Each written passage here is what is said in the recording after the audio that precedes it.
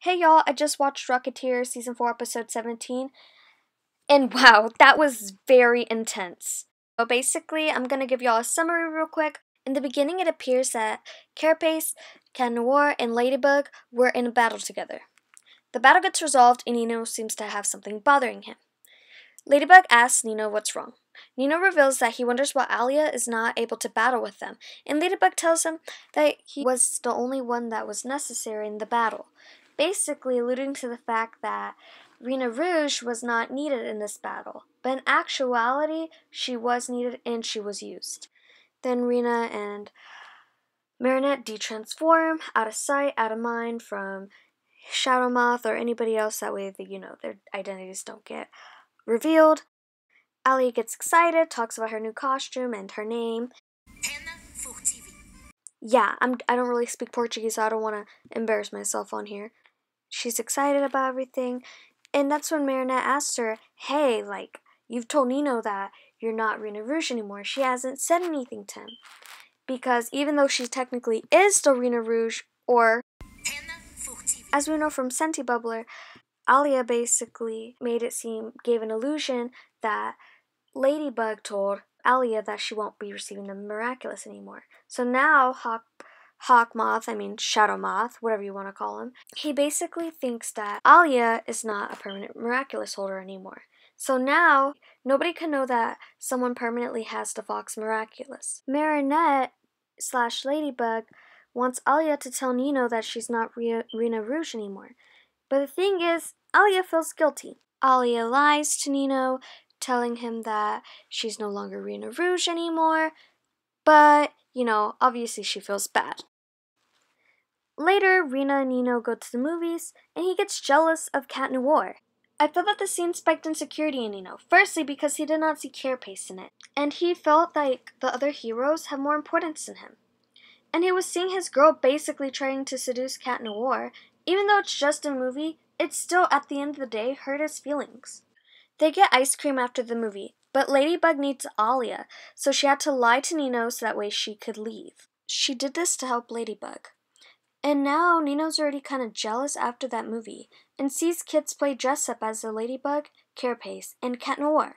And this made Nino sadder. After this, so now Nino's just chilling and then sees Alia admiring Cat Noir on her lady blog, and Nino's jealousy intensifies. Look at this clip real quick.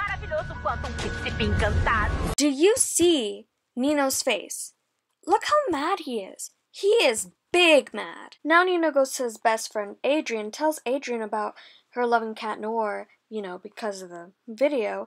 And Adrian tries to let him know that's not true because it doesn't the video doesn't prove anything. Now Nino wants to go find proof and Adrian knows it's not like that.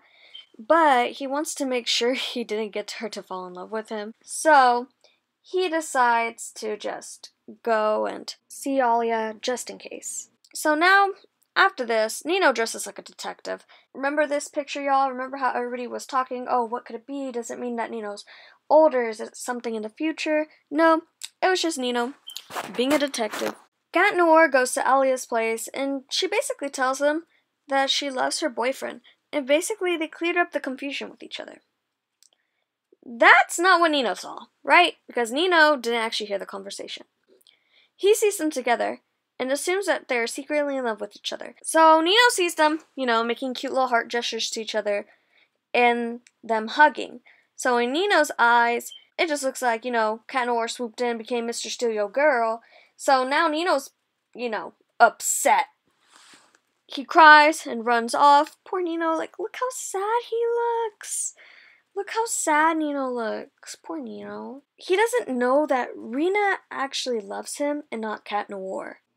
So Nino takes Adrian to a secret area. Now the thing is, I'm not sure if it's a basement or if it's like a secret classroom, like an old classroom or a basement. I'm not really sure. But anyways, Nino shows Adrian the picture of Alia and Cat Noir hugging. And Adrian says that's a misunderstanding and that Alia is not going to fall in love with somebody she doesn't even know. And Nino says that they know each other better than he thinks. This is where Nino tells Adrian things he's not supposed to know, such as him being Carapace and Alia being Rena Rouge.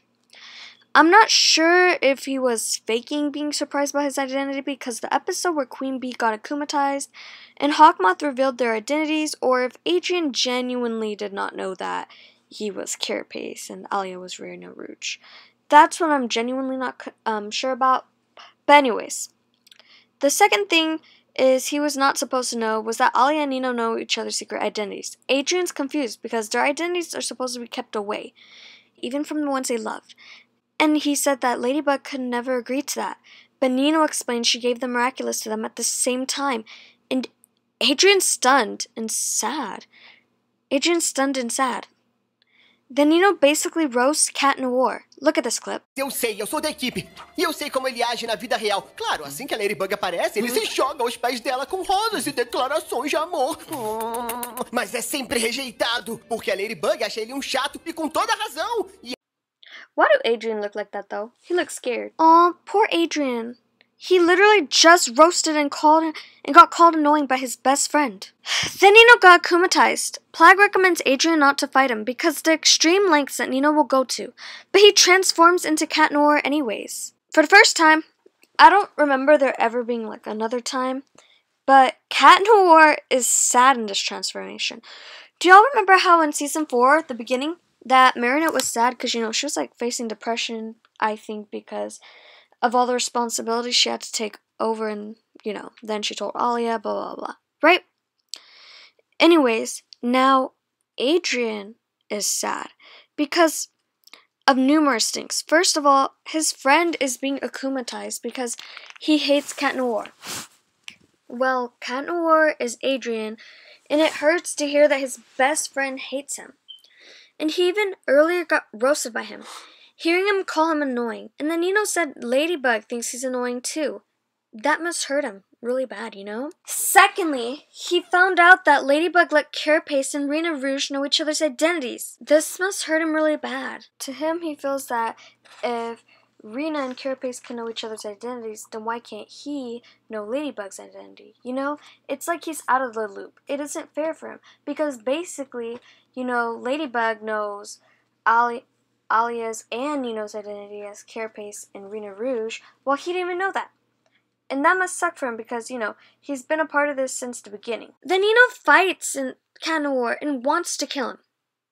Usually in Miraculous, they don't try to kill the characters, but, you know, they just want the rings, right? Because, like, yeah. They don't usually try to kill the characters, they usually just want the rings in revenge.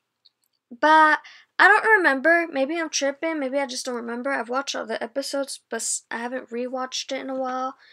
But I don't remember ever hearing them actually try to like kill anybody.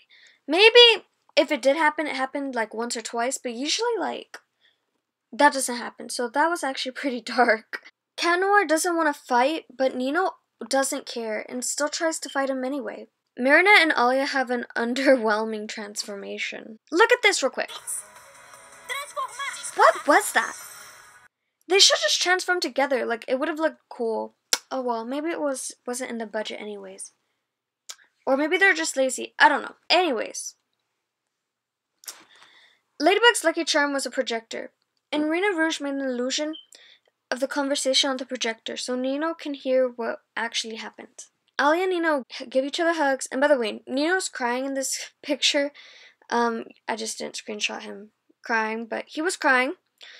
Then Nino broke off from Shadow Moth. The only person who has done that in the past was Alia, which is actually quite surprising. I didn't expect him to like deakumatize himself. So right here, look at this. Read what it says right there. He said love and secrets do not go well together, Ladybug. Shadow Moth might be foreshadowing something catastrophic.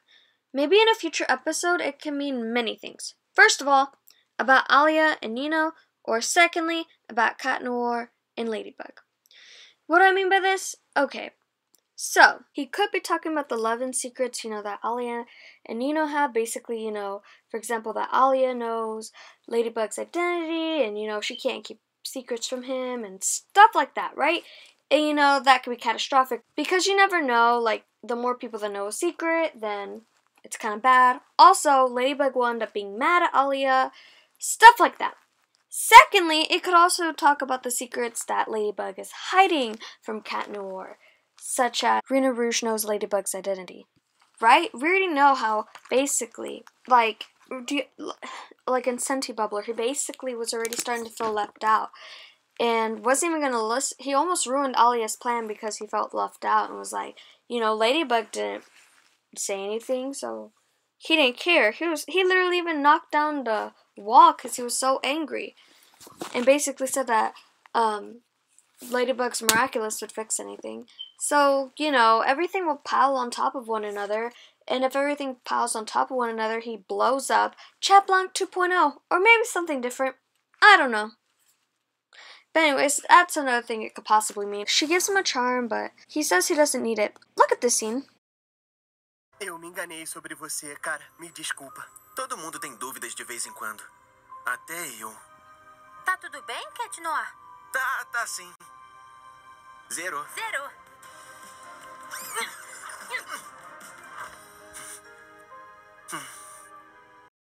Do you see? He is so heartbroken and disappointed in Ladybug that he's losing trust in her. And as earlier, you know how I was talking about the foreshadowing, kind of. He already knows that he was feeling left out in the Sentibubbler. Look at this scene. It's adding on one another. And he's already starting to feel left out. And now feels more left out because they're all keeping secrets from him. And on top of that, now he is losing trust in her. And might even resent her. If things keep on spiraling down, he already has a sad life at home. You know, his dad basically kind of neglects him in a way, and his only kind of support is like you know his little bit of friends at school. But one of the biggest things he looks forward to is Ladybug. You know, and she's one of the few people she's able, he feels like he could depend on. But now his trust is deteriorating. The next, Cat Noir tells Plagg how he feels, and it's obvious he's very upset. You know, Plagg is basically like, it is what it is. Like, Plagg don't really care that much but Adrian's still mad. Then next, in the next scene, Alia tells Nino that she's still Rena Rouge because, you know, she felt bad about keeping the secret. Bruh, she literally just went against what, you know, Marinette just told her, but I guess she didn't care. You know, I understand why she'd feel bad because she, she, okay, look, in all honesty, that's kind of Marinette's fault too because Marinette already knows how Alia is. Because even though Marinette told her not to tell her, let's be honest, Marinette probably deep down knows that Alia's gonna tell Nino. So, in my opinion, that's on her too. At the end, there's a picture. There and there's Cat Noir looking at the moon. Doesn't it remind y'all about the destroyed moon in Cat Blanc? Everyone looks happy except Cat Noir. Everybody's in a colorful bubble except Cat Noir. Cat Noir looks kind of sad looking at the moon. I'm not sure if this is actually going to foreshadow like a Cat Blanc 2.0 or something similar to it, but wow, I'm excited and nervous, y'all, because it's going to give me goosebumps. Maybe I'll cry, maybe I won't. Y'all, you know what? When Adrian, you know, found out all that stuff, like I was getting all, you know, sad and stuff because, you know, I was being empathetic and stuff. And then at the end, you know how he got all sad and made that sad face? I know I didn't say this earlier, but man, like I want to cry a little bit. I got goosebumps and want to cry. Like I was like, dang, like that was like a deep emotion, you know, because I'm like so connected to these characters. It's just like, wow, like I just felt so bad for him. Like ah, there's some things I want to touch base upon. Um, well, I'm pretty happy that Cat Noir slash Adrian's getting finally getting more screen time. Even though this episode's still more about Nino, we get a lot more Adrian and Cat Noir than we usually have for the past, you know, episodes. In addition, I'm just happy that they clarified that Nino does not know Cat Noir's true identity. Because, you know, people were kind of confused. We weren't really sure because, you know, we knew that Marinette told Alia that she's Ladybug, but we weren't sure if Adrian has told Nino or not. So, but after this episode's clarified that he did not tell his identity. Another question is it says that Alia's new costume is it invisible or could she just not post it? If you read what it says, Alia, you know, no one can see these pictures because it's invisible fox. Does that mean she's being invisible, like nobody's allowed to see her? Or can literally nobody see her when she's. Can nobody see her in her new suit? Like literally? Or figuratively? like they just aren't supposed to see her in her new suit or can only certain people see Alia? whenever she's in her new form, or is she just not allowed to? Or is it both? That's what I was confused on. Um, I'm not really sure, to be honest.